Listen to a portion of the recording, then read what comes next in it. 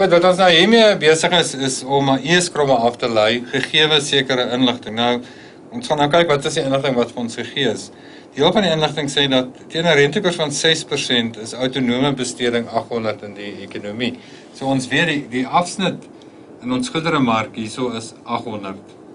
Nou nou kry ons dan ook dat die vermenigvuldiger is 5. Nou kan ons die ewewigsinkomste uitwerk want ewewigsinkomste is gelyk aan die vermenigvuldiger vermenigvuldig met autonome besteding. So dit is 5 maal 800 gee vir ons 4000.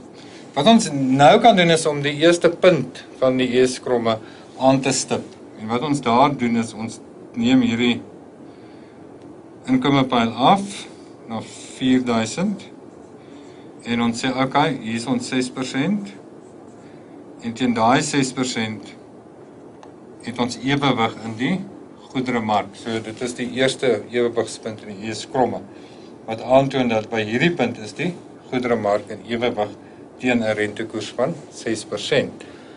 Wat dan gebeur is dan kry ons verder inligting wat sê maar goed, as die rentekoers daal van 6% na 4%, dan verander investeringsbesteding na met 200. So as jy na jou investeringsfunksie gaan kyk, sê die inligting as die rentekoers daal na 4%, dan styg ons investeringsbesteding met 200. So hierdie stygings van 200 in investering wat ons nou na die goederemark toe en wat hier gebeur is jou besteding hier op jou vertikale as is nou 200 meer. So hierdie kromme verskuif opwaarts. So dis die vraagkromme teen 'n rentekoers van 4%.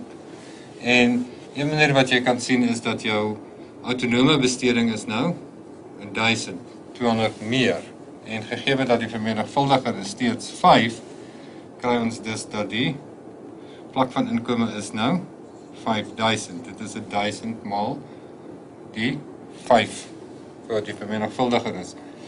Ons neem hierdie waarde van die inkomste af na hierdie diagram 5000 en nou sê ons goed teen 4% kry ons dus 'n ewewigspunt hier. So nou kan jy natuurlik vir verskillende rentekoerse kan jy hierdie verskillende punte kry. Ons vat maar 'n kort pad. Ons verbind hierdie punte en dit is dan ons IS kromme. So jy kan sien met gegee hierdie inligting het ons nou ons IS kromme afgelei wat aantoon dat na mate die rentekoers daal, styg die vlak van inkomste en produksie. Let net op dat hierdie punte is ewewigspunte in die goederemark.